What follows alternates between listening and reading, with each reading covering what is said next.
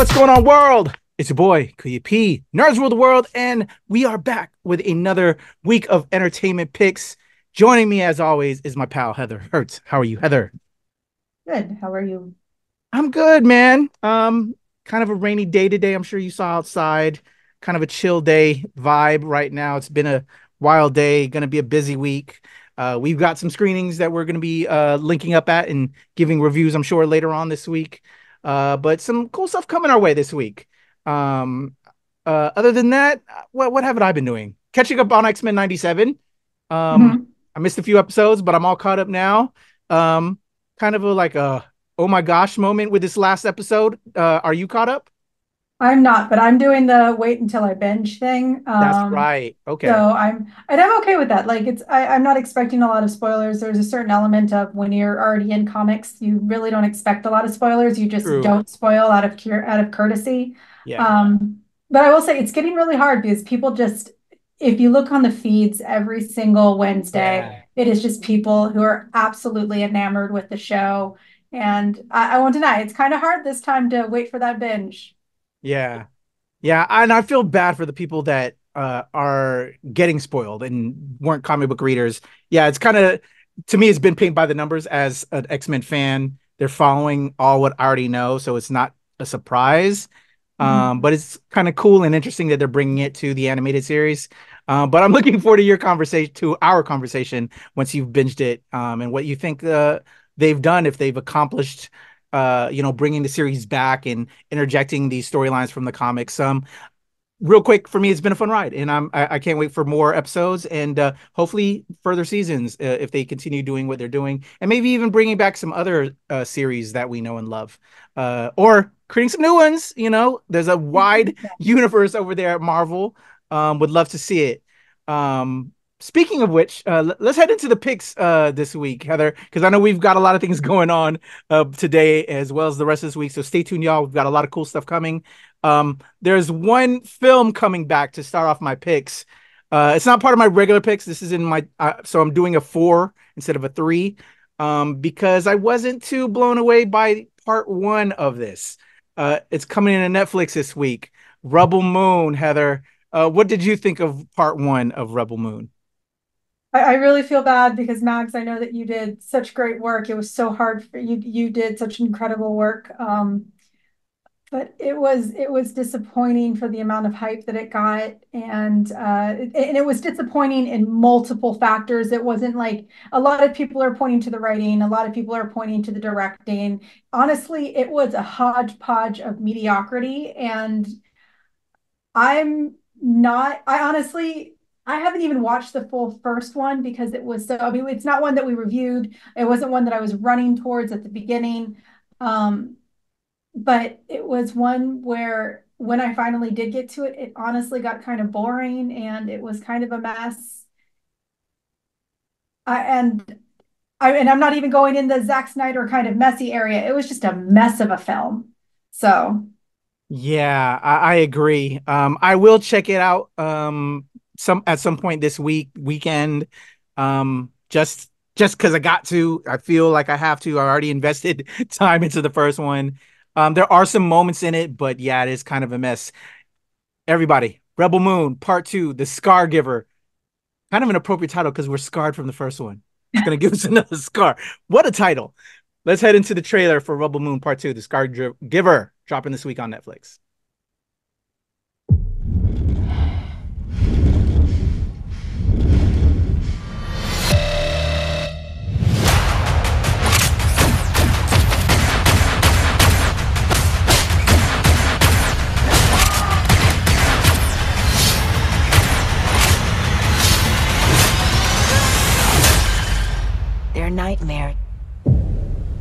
and I fighting together. You must know you cannot win.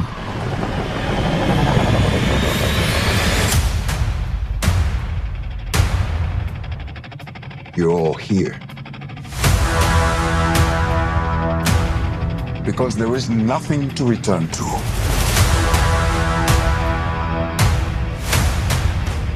Dark days lie ahead of us all. We will teach you how to fight. That's impressive. The Scargivers among them. Those this village holds most dear. I shall destroy them.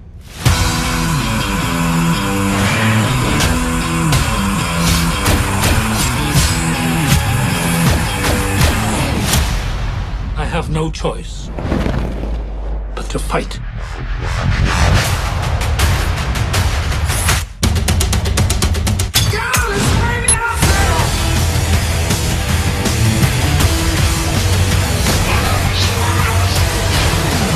The Scargiver herself.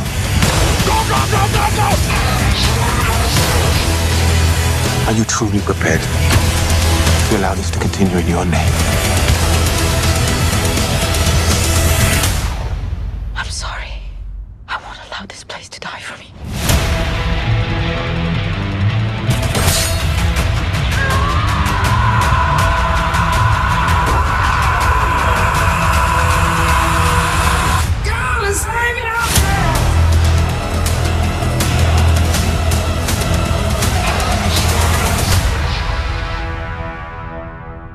Right, this week on Netflix, Rebel Moon Part Two: The Scargiver. Heather, what are your thoughts? Uh, having seen that trailer. Uh, I'm still in the same spot. It, it was the first one was a mess, but hey, you never know. Maybe this one's going to tie up some loose ends, bring some stuff back together. Um, it uh, Netflix put a lot of money into this. Um, that and they took away money from other places that could have, you know, that could have used it. So uh, here's hoping.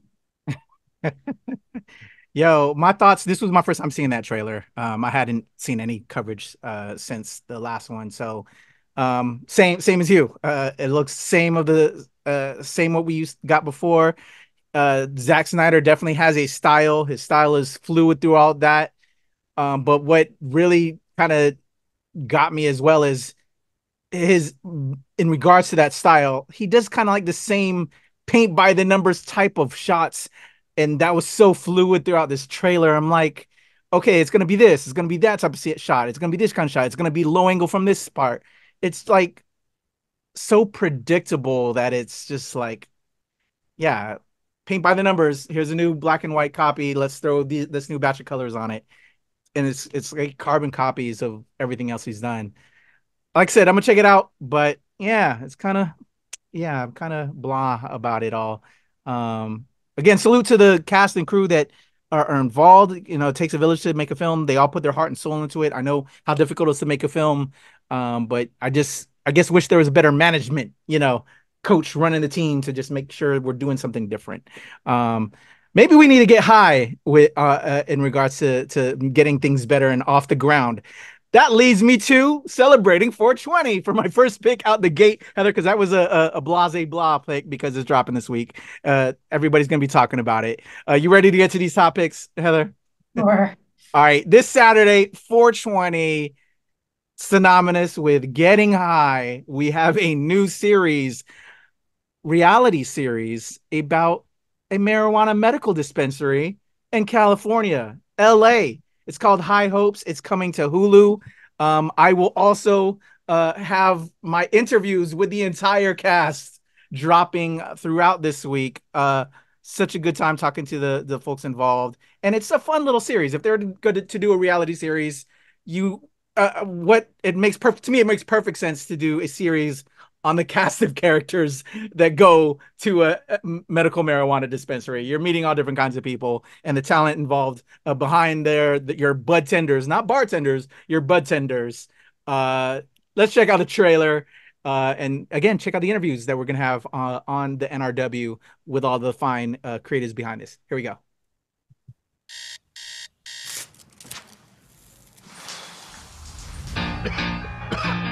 I saw Lion King. It came out when I was born. Hakuna Matata. I took Hakuna, Ma- Hakuna Matata to the next. I took that seriously, yeah. we are MMD, which stands for Medical Marijuana Dispensary. Wow, we. We're just up the street from Hollywood Boulevard, where we see over 25 million tourists a year. With these on. Our vision is to expand the company. We are tracking 32 cities to go after right now. Just two people can't launch a brand. It takes a village. Did you trust them to pull it off? No. Okay, bye. Uriel is our oldest employee. I feel like I am MMD. You have to come to work sober. I've never done that. It's better to ask for forgiveness and ask for permission. That's how I get away with a lot of things at home with my mom. We're gonna bring back one of our OGs. She's a troublemaker, but I'm the best bud tender they have. Being the new guy here, there's a lot to learn. When was your last girlfriend? 2017. Interesting. Got two cats. He's out there sinking, so I think I can help him out. You should hang up, man. Like, I'm more of a ladies man. oh yeah. She's a lesbian. I'm not.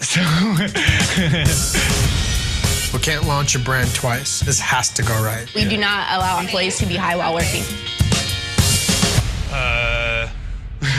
Example of us going corporate right there. God help us. Hollywood breeds nuts. What's a lobster doing in the dispensary?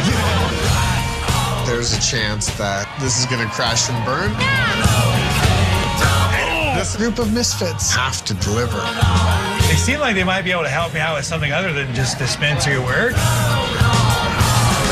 The next customer that comes in, I want you to flirt with them. Freddie is gonna help you out over here. Hello, ladies. I'm uh, new in town. These are beautiful 20s, by the way. Came out of the ATM. What are the dreams and goals that I have? I hate that question, dude. There you go. All episodes dropping on 420.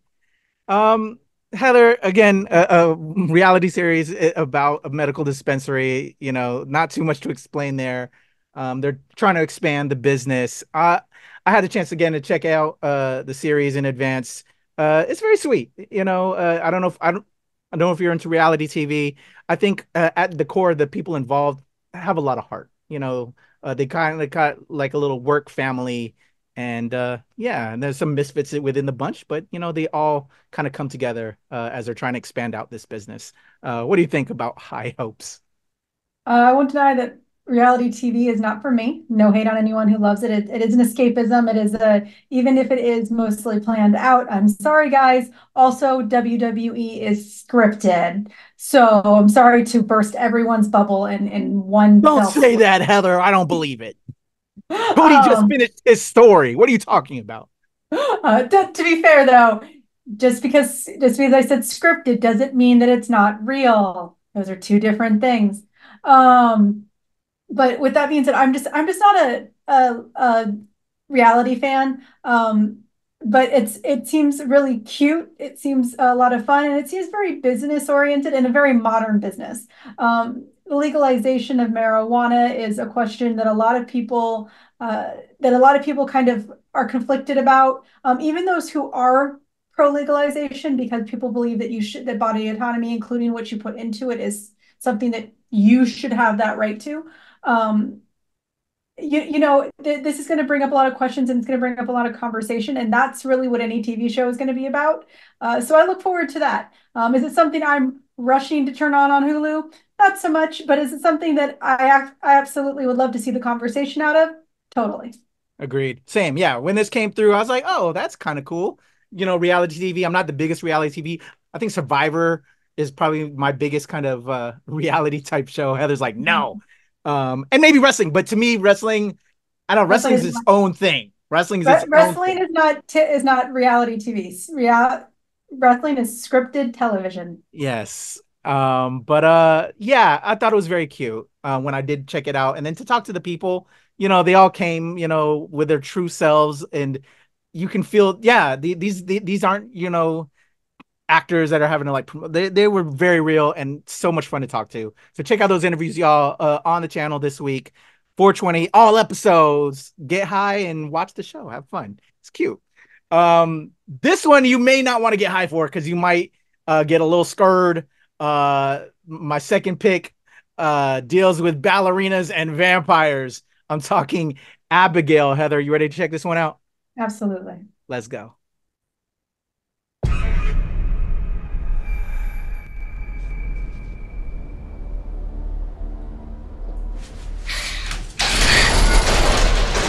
Please let me out. I'm scared. Cut the shit.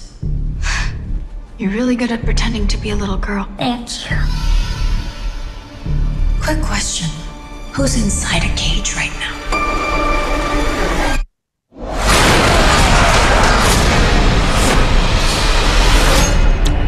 What do we know about vampires? How do we kill it? Crucifixes. Stake through the heart. Daylight is a big one. We need to find a way out of here. We split up.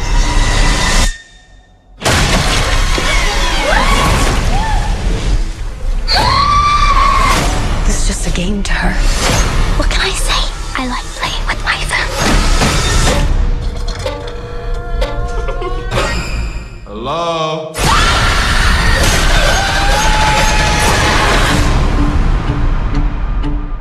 Abigail, y'all, dropping in theaters this week.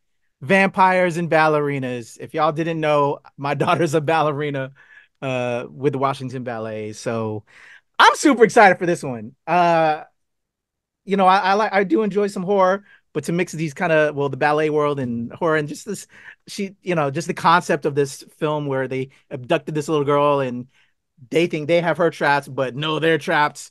Uh, I, I love the premise. Uh, this was the second trailer, by the way, y'all. Uh, I think we actually did a react to the 1st Mhm. trailer. Yeah. Um, what do you think about this one, Heather? Uh, I'm definitely interested in it. It's it's uh, loosely based off. It's a loose reimagining of the 1936 Universal film Dracula's Daughter.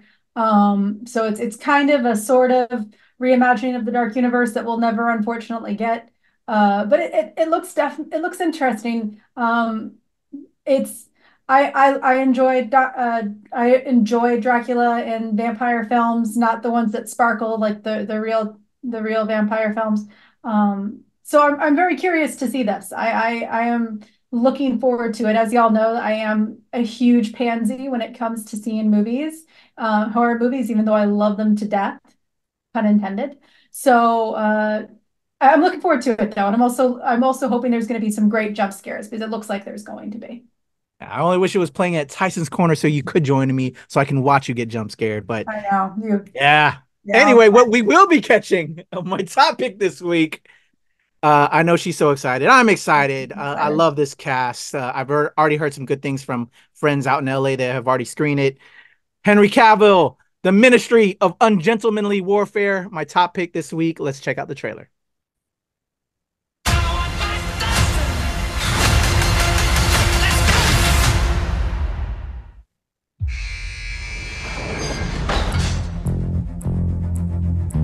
Gus March-Phillipps, I have a mission I want you to lead. Thank you, Sergeant. What's the plan? To neutralize the German U boats in the North Atlantic. We're losing the war. Hitler is not playing by the rules, so neither are we. We both know that I'm not very popular with the administration. Hmm. The reason they find you unattractive is the very reason I find you attractive. If I'm to do this, I'll need my own team. You won't like them. They're all mad. They'll need to be. This is an unsanctioned, unauthorized mission. If we fail, England will be condemned to a lifetime under the German boot. And so I said, That is not a dog. That is my wife. It's very good.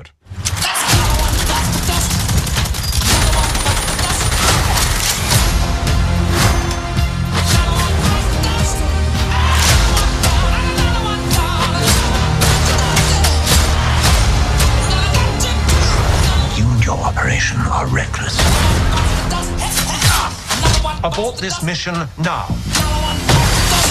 Hello, can't hear you. Please do off.